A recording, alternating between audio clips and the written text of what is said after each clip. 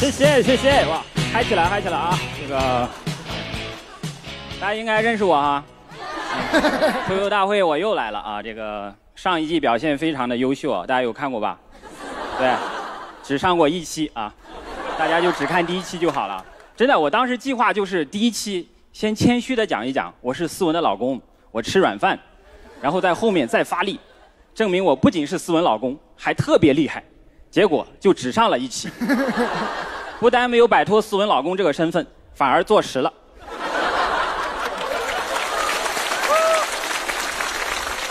这个后来为了证明自己呢，我又去了奇葩说，表现非常的优秀，对吧？对，真的很优秀啊！我太精彩了啊，这个是吧？而且我们队也非常的神奇，就是队内谁厉害就淘汰谁，所以我走到了最后啊。但是上这个节目，我有一个遗憾，就是最后没有拿到 B B King，哇，真的就便宜了詹青云啊，真的，真的，很多网友都表示不理解，说哇，程璐还有资格争夺 B B King 呢，哇，真的很好，就是你想想，如果我真的拿到了 B B King，今天就是以 B B King 的身份参加脱口秀大会，然后突围赛没有过，那你证明脱口秀行业得多厉害。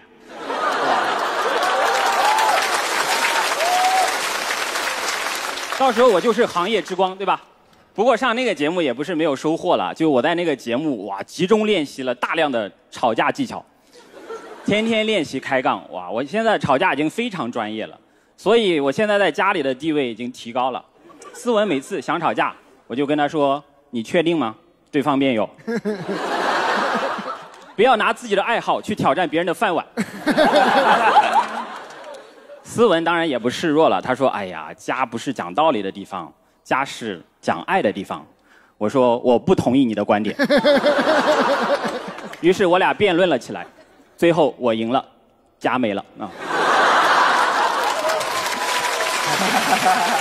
我陈哥挺狠。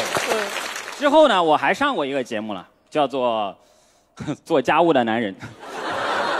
不知道这个节目组咋想的？做家务的男人也太不适合我了。你看我，又不做家务，也不男人。我记得其实前一阵的时候，疫情期间嘛，挺多夫妻离婚的，就是在一起待的太久了，就很容易厌烦。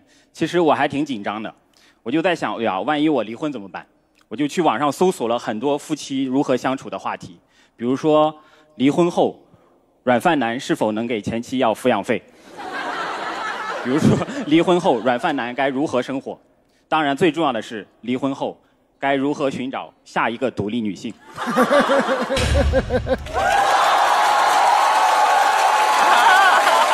掏出橄榄枝。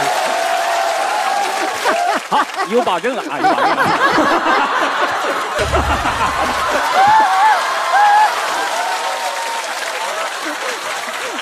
太好了！陈哥的献花能力是没有问题。我当时其实挺紧张的，我就在想，以斯文老公出道的我，离婚后我是谁呀？程璐，程璐是谁呀？世上本没有路，走的人多了也变成了路。不，这不是程璐，这是建国啊。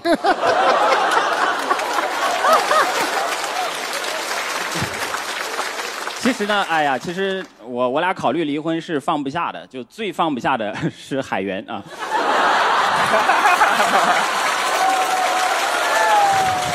毕竟海源才三十五岁啊，这个是个涉世未深的中年啊，而他的好朋友就要离婚了，你说他该如何承受这样的事实啊？放心，海源，即便我俩离婚了，我们还是爱你的啊，我们会尊重你的选择啊，你想跟谁就跟谁啊，而且我们周末会一起去看你的啊。不过我真的是一个很乐观的人，我就想离婚就离婚嘛，也许离婚之后，是吧，会对讲脱口秀有好处，会有新的素材。但我很快就想到了 Rock，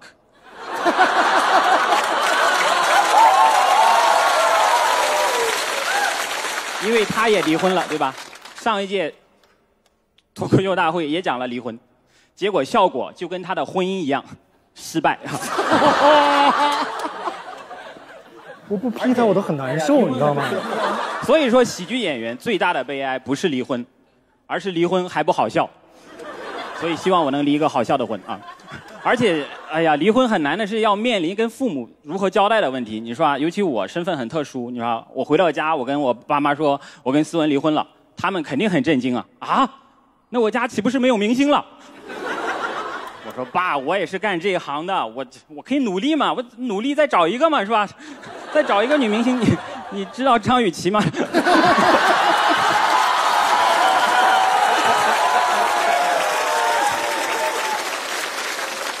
他应该不会嫌弃一个离过婚的人啊。